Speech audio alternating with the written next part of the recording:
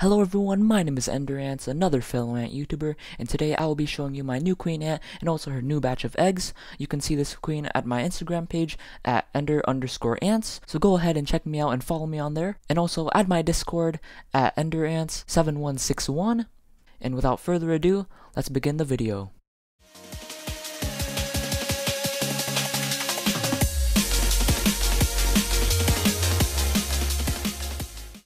At the time of capture, there weren't that many queen ants around, or actually any ants outside.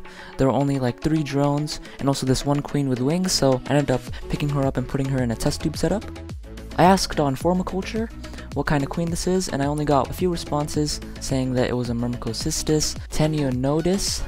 Took me a while to actually pronounce it correctly, but it can be either a Myrmecocystus tenuinodus or a Myrmecocystus testaceus, so it's one of those two since I only got like 4 replies. And also from passed on knowledge, I learned that the Myrmecocystus species has a very long maxillary palps.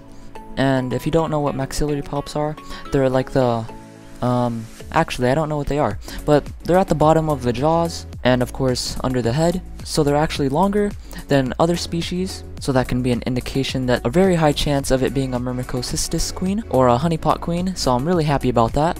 But here are some closer shots of the eggs and also the queen, so enjoy these.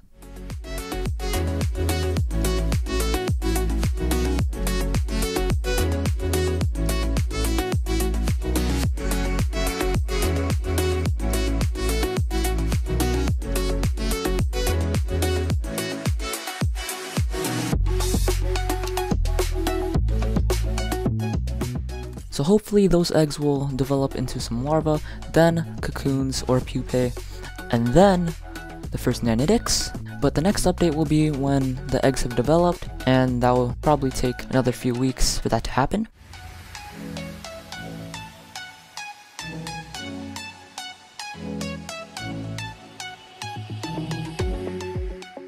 So yeah, I think I already talked about everything about this queen already. But in the coming weeks, I'll be making another Brachymyrmex patagonicus colony update, and for those that follow me on Instagram, you guys already know why. But yeah, that will probably be the next update, and then a Crematogaster queen update. But that's all I have planned for now. So, I know this was a very quick video, and I apologize if you were looking forward to a much longer video, but that's all I have to say for now. So thank you for watching, my name is Ender Ants. Go subscribe to me on my second channel, NKZ Productions. I'm almost at 200 subscribers, so I'm really happy about that. Remember to like, comment, share, and subscribe for more videos. My name is Ender Ants, another fellow ant keeper, and I'll see you guys in the next one.